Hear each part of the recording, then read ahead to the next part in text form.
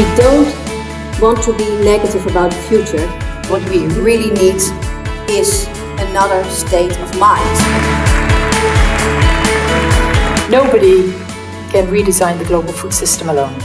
All players in the food system are needed. Determine your position.